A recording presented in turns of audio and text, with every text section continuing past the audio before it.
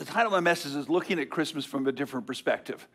One of the hardest things in Christmas time is everything is familiar.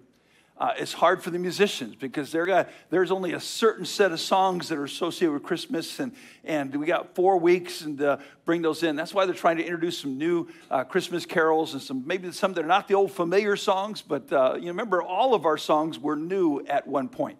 And uh, I hope you'll take time to learn some of these new ones as well as enjoy the old ones. Uh, but it's hard to have, you know, after a while, we already sang that song, we sang that song, we sang that song, and how many times do you want to sing it? And that makes it a challenge. And it's also a challenge for the pastor.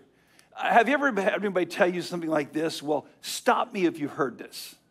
And, and, and you know, and that's what's tough for a pastor because you're preaching a story, you're telling a story that everyone knows, and that you have preached every year, in my case, for the past 36 years. And so every year I'm trying to come up with what's a new way to present the old story. Uh, the old story is great. I love to tell the Christmas story, and we ought to hear it every year. But I, I do want to present it in a fresh perspective and maybe getting you think about it in a little bit different way. And that's the challenge and especially with four weeks of christmas sunday morning and sunday night. So i figured one of the easiest things to do is tell the assistant pastors you're preaching. All right? Uh, get them in there. Uh, pastor andy of course got waipahu chapel and i'll get pastor caleb and pastor enster to a couple sunday nights and, uh, and all. But I also wanted to try to take a look tonight at christmas from a different perspective Look at 1 Peter chapter 1 and look at verses 10 through 12. 1 Peter chapter 1, verses 10 through 12. Of which salvation the prophets have inquired and searched diligently, who prophesied of the grace that should come unto you. Searching what or what manner of time the Spirit of Christ, which was in them, did signify when it testified beforehand of the sufferings of Christ and the glory that should follow unto whom it was revealed that not unto themselves, but unto us they did minister the things which are now reported unto you by them that have preached the gospel unto you with the Holy Ghost, sent down from heaven, which things the angels desire to look into. Let's bow for prayer. Father, we pray that as we hear such a familiar story, one that even many unsaved people know about the wise men and Mary and the shepherds and the angels and sometimes when a story is familiar, we, we just don't listen. We don't pay attention. And I hope that as we look at the story, maybe from a different perspective, from a different point of view, that it might help us to renew the fresh story in our minds. And so we pray that you bless us tonight as we look at your word together. We have the familiar people that we know the story from. We all hear, we know about the wise men, we know about the shepherds, we know about Mary and Joseph, we know about the manger scene and all of these different things that we've heard year after year, uh, the stories in Luke and Matthew that we read every Christmas. And yet there was other people that are involved in the Christmas story that we don't commonly think about. And the first one that came to my mind, or the first ones, is the prophets. Prophets like Isaiah and Micah. These were prophets that wrote about Jesus but didn't necessarily understand what they were writing about. It's like telling a story you don't know. Telling a story you don't know. Go to Isaiah chapter 7. Isaiah chapter 7 and look at verse number 14.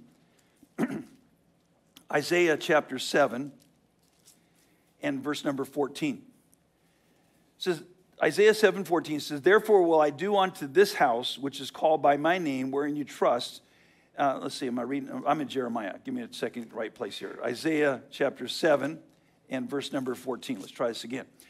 Therefore, the Lord himself shall give you a sign. Behold, a virgin shall conceive and bear a son, and shall call his name Emmanuel. And then turn to Isaiah chapter 9 and verse number 6. Isaiah chapter 9 and verse number 6. For unto us a child is born, unto us a son is given, and the government shall be upon his shoulder, and his name shall be called Wonderful, Counselor, the mighty God, the everlasting Father, the Prince of Peace. And then go over to the book of Micah. It's a little harder one to find. Ezekiel, Daniel, Hosea, Joel. It's right after Obadiah and Habakkuk, and, and right, right after um, Jonah. And then you've got Habakkuk, and then you've got Micah, or Micah and then Habakkuk. So if you can get there, Habakkuk, uh, Micah chapter 5 and verse number 2. Micah chapter 5, verse number 2. But thou, Bethlehem, Ephraim, thou, though thou be little among the thousands of Judah, yet out of thee shall he come forth unto me, that is to be ruler in Israel, whose going forth have been from old, from everlasting. And so we've got the prophets prophesying about Jesus' birth. But for them, it was like looking at just a couple pieces of the puzzle. You ever had pieces of puzzle and try and figure out, well, what do these go with? My wife likes puzzles, and we got a whole cabinet full of them. And sometimes they get mixed up, and you get some puzzle pieces that drop out. And I'm looking and say, okay, which puzzle is this piece supposed to be in the box with? And, and this is the way it was for the prophets. In 2 Peter chapter 1, 2 Peter chapter 1, and verses 19 through 21. 2 Peter chapter 1, and verses 19 through 21 it says, We have also a more sure word of prophecy, whereunto you do well that you take heed, as unto a light that shineth in a dark place until the day dawn, the day star arise in your hearts. Knowing this verse, that no prophecy of Scripture is in private interpretation. But the prophecy came not in old time by the will of men, but holy men of God spake as they were moved by the Holy Ghost. And so Isaiah, Micah, David, others in the Old Testament wrote about the coming of Christ and in his birth. Uh, they were writing about things that they didn't really understand. They were trying to tell a story that is familiar to you and I. But for them, it was like looking at just one or two pieces of the puzzle and, and trying to figure out what was being said. There are over 300 prophecies about Jesus in the Old Testament. In Matthew chapter 1, verses 22 and 23, it says, Now all this was done that it might be fulfilled, which was spoken to the Lord by the prophet, saying, Behold, a virgin shall be with child, and shall bring forth a son. They shall call his name Emmanuel, which be interpreted as God with us. And so New Testament said this is a fulfillment of the prophecy of the Old Testament. Uh, of people like David and Micah and Isaiah and others that were writing about the coming of Christ. And when Christ came, it was in what the Bible calls the fullness of time. In Galatians chapter 4 and verse number 4, it says, When the fullness of time was come, God sent forth his son, made of a woman, made under the law. And so you have the prophets writing about Jesus' birth, and yet all they have is just a couple pieces of the puzzle. Can you imagine they were moved by the inspiration of God, which means that where God breathed, that God gave them what to say. Not like He uh, dictated. You can see that He used the personality of every writer in the Bible. You can tell the difference between Paul's writings and Peter's writings. You can tell the difference between what David wrote and what Solomon wrote. Uh, God used their personalities, but yet at the same time, He inspired him. It's like a, a, a sail with the wind, He moved them along. And there's cases where God said, Write this exactly as I tell you. And there's other cases where God moved them. And through his supernatural intervention, every word was of God, but yet he was able also to use the personality of the writers. And so much of that they're writing was like they were, they were maybe taking dictation or being moved by God to write this. And they wrote things and they're looking and say, What was that? Where did that come from? And I'm sure as they wrote, that they searched diligently. Look again at 1 Peter chapter 1 and look at verse number 11. 1 Peter chapter 1, verse number 11. Searching what or what manner of time the Spirit of Christ was, which was in them to signify what it testified beforehand the sufferings of Christ and the glory that should follow. I, I, can imagine Isaiah. I can imagine Micah. I can imagine David as they're writing about the baby Christ, the, the birth of Christ. Uh, they were writing and then they stop and they would look at this and say, Well, what is that? What does that mean? And, and I wonder how many times Isaiah went back and reread those verses trying to understand them. He wrote them out, and I, I kind of think that over time he went back and said, What does this mean? And I don't know if he ever truly came to understand what it all meant and how Jesus was going to be born in a manger and all the rest of that. But I do know he searched diligently. In Matthew chapter 2 and verse number 8, it says, And he, talking about Herod, sent them to Bethlehem and said, Go and search diligently for the young child. And when you have found him, bring me word again that I may come and worship him also. We know, of course, that Herod wasn't there to worship the Christ. But you and I, let's not take something that's familiar and not take time to search diligently. The Bible tells us in John chapter 5 and verse number 39 search the scriptures for in them you think you have eternal life, and they are they which testify of me. And I think sometimes we think, well, I know that story. I know about Jesus' birth. And so we kind of skim over those verses instead of really stopping and taking a very close work, look at what the Bible says. In John chapter 20 and verses 30 and 31. John chapter 20 and verses 30 and 31. The Bible says, And many other signs truly did Jesus in the presence of disciples, which are not written in this book. But these are written that you might believe that Jesus is the Christ, the Son of God, and that believing you might have life through his name.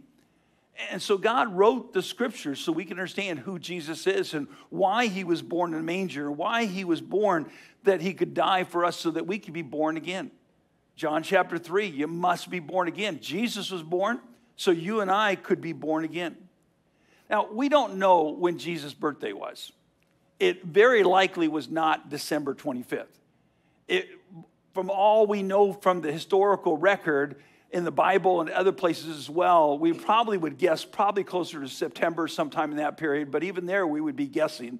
We don't know exactly when his birthday was. We picked a day and said, This is when we're going to celebrate it, and that's fine. I don't know when I was born again. I don't know the date.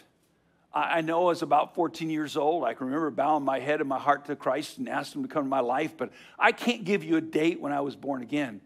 But I do know I was born again. In John chapter 1 and verse number 12, it says, But as many as received him, to them gave he the power to become the sons of God, even to them that believe on his name. And so we don't know exactly when Jesus was born. And of course, Isaiah, Micah, David, when they wrote the scriptures, they didn't even understand what this all meant. But we do need to search diligently. In 2 Peter 1.19, it says we have a more sure word of prophecy. And we need to be sure of our salvation, 1 John chapter 5, verses 12 and 13. And we need to take time to really think about what this story is truly about. And, and tonight I want you to kind of think about it from a different perspective. Again, look at 1 Peter chapter 1 and look at verse number 11. Searching what or what manner of time the Spirit of Christ, which was in them to signify when it testified beforehand the sufferings of Christ and the glory that should follow. I, I again can imagine Isaiah, and Micah writing these scriptures out as they were moved by the Holy Spirit. And then I can imagine him going back and say, okay, what does this mean? What, what is he talking about? You ever talking to somebody and in the middle of your conversation they change topics? You ever know somebody like my wife's like that? She can be talking to me about one thing, and then all of a sudden she's over here talking about something else. what are we talking about now? You know, you, you ever had that situation where you're talking about one thing, and all of a sudden it's just like you go to a whole different topic? Go back to the book of Isaiah. Go back to the book of Isaiah again. Look at chapter 9. Isaiah chapter 9, and look at verses number 5 and 6 when you go back and read, in fact, this is true of most of the prophecies about Christ. When you read them in the context, it, it sounds strange. Look at Isaiah chapter 9, look at verse number 5. And they will deceive everyone his neighbor, will not speak the truth. They have taught their, oh, I'm in Jeremiah again. Boy, my Bible just keeps turning there. They're right there together. Let me get in the right place again. Okay, Isaiah chapter 9 and verses 5 and 6. That was out of context, by the way. All right. For every battle of the warrior is was confused noise, and garments rolled in blood. But this shall be with burning and fuel of fire. For unto us a child is born, unto us a son is given, and the government shall be upon his shoulder. His name shall be called Wonderful, Counselor, the Mighty God, the Everlasting Father, the Prince of Peace. If you look at chapter 9, you look at chapter 7, you look at many of the places where they prophesy Jesus being born. In the context, they're talking about war. It's, it's all, he's talking about these great battles and this war that's going on. And he says, and then there's a baby going to be born. And, and I can imagine Isaiah writing his, this all along. he's writing about war. He's writing about these battles and the conflict is going on. And then all of a sudden he's got this verse about, for unto us a child's born. He's going, what? Right in the middle of one topic, it seems like God just changes the topic. It's in the middle of chaos. It, it's like everything is all falling apart. Look over Micah chapter 5, Micah chapter 5, and look at verses 1 and 2. Now gather thyself in troops, O daughter of troops. He hath laid seeds against us. They shall smite the judge of Israel with a rod upon the cheek. But thou, Bethlehem, Ephrathah, thou that be little among the thousands of Judah, yet out of thee shall come forth unto me that is to be a ruler in Israel, who is going forth have been from old, from everlasting. Again, right in the middle of chaos, he brings up the topic of the baby being born. Now, Isaiah and Micah are contemporaries. They, were, they lived about the same time period. During their life, there was much corruption in the government Israel, in religion, in personal lives. It was really a, a bad time for Israel. They were under threat of attack from Assyria. In the middle of all this chaos, God says, Unto you a child is going to be born. He says, The child is going to be called the Prince of Peace. John chapter 14, verse 27, it says, Peace I leave with you, my peace I give unto you, not as the world giveth, give I unto you. Let not your heart be troubled, neither let it be afraid. Sometimes in our lives, it's chaos. Things are a mess. But God just says, wait a minute. No matter how bad things look, don't forget my son Jesus. And again, I don't think Isaiah understood all the details of Christ's birth. I don't think he knew about the wise men or Mary or Joseph or the shepherds and the angels. But he did know this God's promise was true that he was going to send the Messiah, the Savior.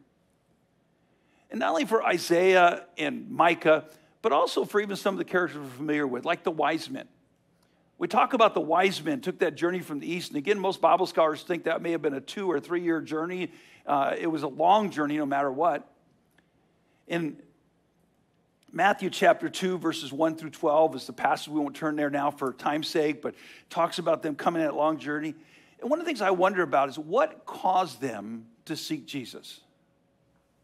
What caused these wise men from the east, which means they were some, maybe from uh, China or some other place in the east of the Middle East, and, and we don't know exactly where again, but what caused these wise men from the east to go on this long journey looking for the king? In Jeremiah 29 13, it says, And you shall seek me and find me when you shall search me with all your heart. Now, a lot of Bible scholars think that the reason they were looking for the Messiah was because of Daniel. They may have been from Assyria and that area there, and maybe they, they heard about Daniel and knew the stories of Daniel. I, I don't think that they had a copy of the Bible. And the reason I don't think that is when they got to Jerusalem, what, the, what was the first thing they did? They went to the king Herod and said, Where is the Christ child? And Herod went to his um, his Bible scholars and said, Look it up. Now, these were wise men. And I think if Herod's Bible scholars, who were just religious men and not saved, could find it, these wise men surely could have found Bethlehem in Isaiah or Micah. They could have found the source. So I don't think they had the whole Bible. At the best, they may have known about Daniel and may have heard the stories of, of his prophecies and what he had done and his God. In Romans chapter 10, verse 17, it says, So faith comes by hearing, hearing by the word of God. They didn't have what you and I have today. But yet, on the little they had, they went seeking Christ. Now, there's many ways to come to Jesus, but there's only one way to get to heaven. John chapter 14, verse 6, Jesus saith unto him, I am the way, the truth, and life. No man cometh unto the Father but by me. And these wise men had to come to Jesus the same way everybody else does. And they had to find him, the Savior that was born in the manger to die on the cross for them. The shepherds is another one. The shepherds were out doing their job, and all of a sudden these angels appear. And the angel appears, and, and a multitude of heavenly hosts start singing, or, or at least saying, and, and, and they're sitting there just doing their job, and all of a sudden they're hearing the story of Jesus. And go over to Luke chapter 2. Luke chapter 2, and one of the passages we read in Christmas time, and we read this morning, Luke chapter 2, verse 20. In verse 14, it says, Glory to God in the highest, and on earth peace, goodwill towards men. That's the angel speaking. But in verse 20, and the shepherds returned glorifying and praising God for all the things that they had heard and seen, and it was told unto them. They went out to give glory and praise to God. And that's what you and I ought to be doing at Christmas time. Is these were shepherds, these were uneducated men. The shepherds were really the minimum wage job of their day. It, didn't take a whole lot to be a shepherd out in the fields, especially at night. You were just kind of the, sorry, Tupu, the security guards. And they were just out there doing their job And then they got called away. Now, if they'd been, they'd been working for Tupa, they'd been fired for leaving the security job and not doing what they're supposed to do. But the angel said, Come and see. And they, they came and saw the Christ child. And what they went out and said, let, let me tell you what God, what I just saw God do. And that's all God asked from you and I, is to praise him. In Luke chapter 2 and verse number 13, and suddenly it was with the angel multitude heavenly hosts praising God and saying, in Psalms 107, verse 8, it says, Oh, that men would praise the Lord for his goodness and for his wonderful works for the children of men. It says the same thing in verse 15, verse 21, verse 31. And that's our job, is to give praise to the Lord. In Luke chapter 2 and verse 18, all that all they that heard it, it wondered at these things which were told them by the shepherds. And I hope that you and I will never lose the wonder of Christmas. I hope that we'll never listen to the Christmas story being read and think, well, I've heard that before. I hope that it'll never become just something that we review every year, but it'll always be exciting and an opportunity to praise God and give glory to Him. And then Mary also, in Luke chapter 2, verse 19, says, Mary kept all these things and pondered them in her heart. The word pondered comes from the idea of the word to uh, put it all together. It's like when you buy a Christmas present and Christmas Day, you open it up, and then the back of the box, or Christmas Eve, you're getting ready to put in a package for your children, and the back of the box says, Some assembly required. That phrase is Chinese for you better have a rocket science degree to put this together. And God says, Listen, you need to ponder these things in your heart. Now, Mary had been visited by an angel. And we know her story from a little bit earlier on. But I can still imagine her just watching all this going on. She didn't know all these angels were going to show up or shepherds were going to come or later on the wise men come. She didn't know all the details of the story, but she pondered them. Philippians chapter 2, verses 12 and 13. Wherefore, my beloved, as you always obeyed, not as in my presence only, but now much more in my absence. Work out your own salvation with fear and trembling. For as God worketh in you both to will and to do of his good pleasure. God works in us to save us, but we need to work it out. We need to assemble these things and ponder them. And since she also kept these things in her heart in verse 19, but Mary kept all these things. Look at verse number 51. He went down with them and came to Nazareth and was subject unto them, but his mother kept all these sayings in her heart. Now, I preached this before in a different message, and again, it's hard to you know, tell the Christmas story without repeating some things, but the word kept is two different words in these verses. In verse number 19, it means to keep in memory. Go over to 2 Peter chapter 1. 2 Peter chapter 1. Verses 12 through 16. 2 Peter chapter 1, verse number 12. Wherefore I will not be negligent to put you always in remembrance of these things, though you know them and be established in the present truth. Yea, you think it meet, as long as I am in this tabernacle, to put you in, to stir you up by putting you remembrance, knowing that shortly I must put off this my tabernacle, as our Lord Jesus Christ has showed me. Moreover, I will endeavor that you may be able, after my decease, to have these things always in remembrance. For we've not followed cunningly devised fables we made known to you the power and the coming of our Lord Jesus Christ, but we're eyewitnesses of majesty. To the world, the Christmas story is just a fable. It's just a fairy tale. It's no different than Santa Claus. But to you and I, it's the wonder of God. I, can imagine Isaiah wrote a lot of the Bible. He wrote, he wrote quite a few chapters. But I got to believe until the end of his life, he would keep going back to that verse and say, What does it mean a child's going to be born? I imagine Micah did the same thing. Mary, who knew a little bit of what was coming, yet she, she pondered these things in her heart. And we know this story, but let it become fresh and new to you every year. The second word for kept in Luke chapter 2, verse 51, it means to watch carefully, continually to observe. Make it your goal every Christmas to learn something new about the Christmas story what I'm preaching tonight, a lot of this is new. I never really thought about Isaiah and Micah and how it felt to them. I never really thought about the fact that here you've got a verse about the birth of of Jesus in the middle of a chapter of chaos and war. It, it's interesting to think about it from a new perspective, to ponder it in your heart, to keep it. Go back to Luke chapter 2. There's a couple of people I really want to quickly go through and looking at the Christmas story with, and that's in Luke chapter 2 and beginning with verse number 25. This is somebody who was just dying to see Jesus. Literally, he was dying to see Jesus. In Luke chapter 2, verse 25, and it says, Behold, there was a man in Jerusalem whose name was Simeon. And the same man was just and devout, waiting for the consolation of Israel, and the Holy Ghost was upon him. It was revealed unto him by the Holy Ghost that he should not see death before he had seen the Lord Christ, the Lord's Christ. And he came by the Spirit into the temple, and when the parents brought in the child Jesus to do for him after the custom of the law, then took he him up in his arms and blessed God and said, Lord, now lettest thou thy servant depart in peace according to thy word. For mine eyes have seen thy salvation, which thou hast prepared before the face of all the people a light to lighten the Gentiles and the glory of the people Israel. And Joseph and his mother marveled at those things which were spoken of him. And Simeon blessed them and said unto Mary, his mother, Behold, this child is set for the fall and rising again of many of Israel, and for a sign which shall be spoken against.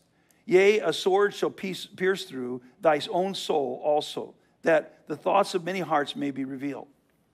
Now, we know about Mary, we know about Joseph, we know about the wise men, the shepherds, but you all, I, I don't see any, any little Simeons on the shelf.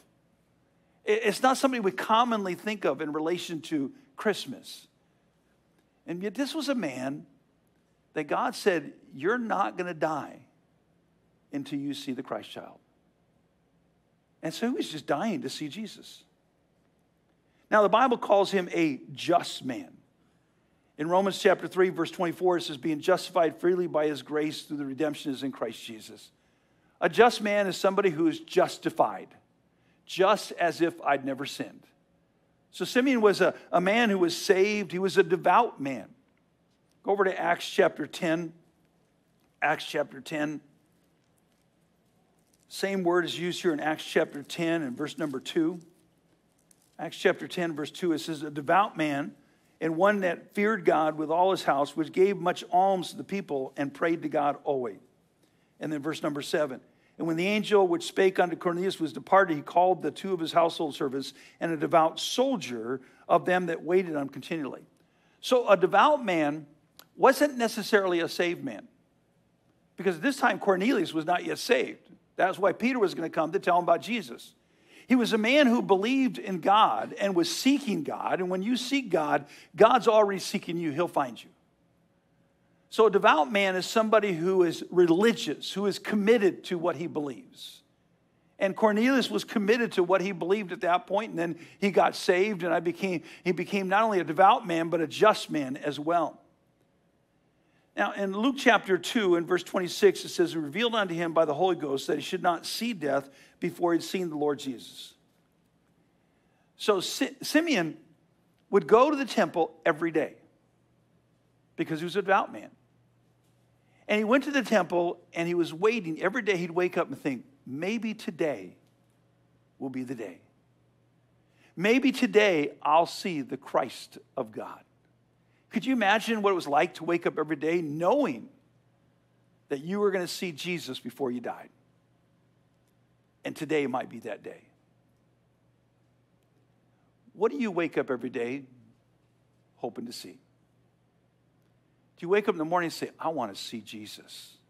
Like those men that came, the disciples said, Sir, we would see Jesus. Do you wake up every day saying, Maybe today Jesus is going to come again? Even so, come, Lord Jesus.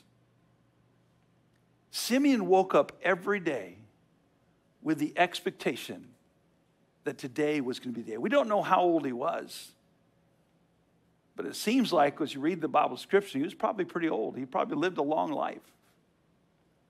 But he woke up every day saying, Today, today I'm going to see, get, see Jesus. What about you? Do you wake up with a desire to see Jesus before you die? Do you wake up every day with a desire to say, Today, Lord, let me see you? Even so, today, come, Lord Jesus. In Luke chapter 2, verse 29, it says, Lord, now lettest thou thy servant depart in peace according to thy word. Are you trusting in the word of God? He said, No, Lord, I'm ready to do whatever you want. I'm ready to die according to your word. And look at Luke chapter 2, verse 25. It says, Behold, there was a man in Jerusalem whose name was Simeon. The same man was just and devout, waiting for the consolation of Israel, and the Holy Ghost was upon him. Now, the consolation of Israel, we think of a consolation as like a consolation prize. I didn't get first place, but I got second place. Don't let Jesus ever be your consolation prize. Don't ever let him be your consolation prize.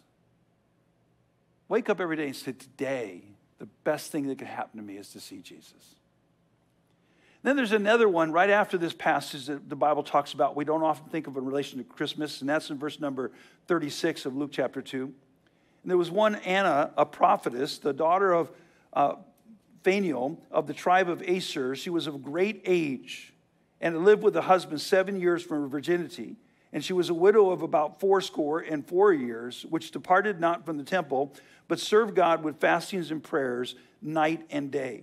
And she, coming in that instant, gave thanks likewise unto the Lord and spake of him to all them that looked for redemption in Jerusalem. And so here was a lady, Anna, who was just waiting. And, and she was also there at the temple, and she was, she was looking for the Christ. You see, for her, it was more than just Christmas and Easter. For her, she wanted to be there. She said, I'm not going to miss going to the temple because I want to be there today in case today is the day that Jesus comes. That's why I go to church, not just to come here and preach. I don't want to miss a service because today's the day the Lord might speak to me. Today's the day the Lord might speak to my heart. She was a woman who served God. Psalms 100 and verse 2 serve the Lord with gladness, come before his presence with singing. Now, it says she was of great age, and it sounds like she was even a little bit older than I am and yet she was serving the Lord night and day. But look how she served God in verse number 37. But serve God with fastings and prayers. She was an age she couldn't come to work days. She was an age it was probably too hard to work in the nursery. She'd probably been a maybe a Sunday school teacher for many years, but couldn't do that anymore. She was an age that all she could do was prayer and fastings. But the Bible doesn't say that's all she could do. That says that's she said the Bible says that's how she served God. You and I can serve God through prayer and fasting. And she gave thanks. 2 Corinthians 9:15 Thanks be unto God for his unspeakable gift. This Christmas you ought to take time to give God thanks for his son Jesus Christ. The fact that he came to die on the cross is, a, is an amazing thought. But to me, just as amazing is that he was born as a baby. Jesus never stopped being God, but he limited himself. And he did not use those powers that he had. And so, for those first few days and years of his life, he was a little baby that had to be carried everywhere. He was a little baby that had to have his diaper changed to be fed with a spoon by his mom. Why did they take him to the temple? To be circumcised. This was God.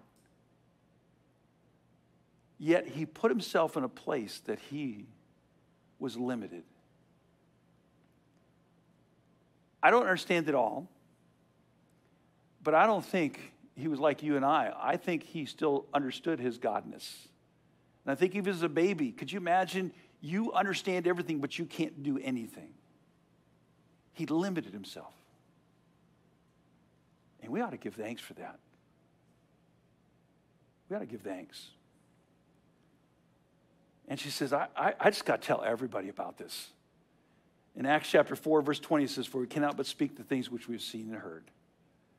And that's what we ought to be doing this Christmas season. The world thinks of it as a fable, a fairy tale. They're just nice stories. But you and I, we understand the wonder of it all. And so I hope tonight maybe you'll go back and do a little bit of Bible study and Isaiah and David and the Psalms and Micah and other places in the Old Testament and read about the prophecies of the coming of Christ. And, And by the way, it was also like two pieces, the two puzzles were mixed together. Because you'll read in the same place it talks about Jesus coming as a baby, it also talks about him coming as the Messiah, as the conqueror. And, and, and, and so it's like they got two different puzzles they're trying to assemble at the same time. But it's just fascinating to go back and read those stories in the context. And then just to sit and think, what was it like for Isaiah to write that? And not understand it from our perspective. What was it like for Micah and David? To go back and look at even these familiar characters like the wise men and the shepherds and Mary. We sometimes think they know as much as we do, did, do, but they didn't. They only had a few pieces of the puzzle themselves. And yet they pondered and wondered and kept it in their heart. And then Simeon, a just man, a devout man, a man who woke up every day saying, Today, today is the day I get to see Jesus. Maybe today is that day. I'm going to die, but it's worth it. Or like Anna, who served the Lord well into her later years with prayer and fasting, was faithful to him, and God honored that. Let's bow in prayer.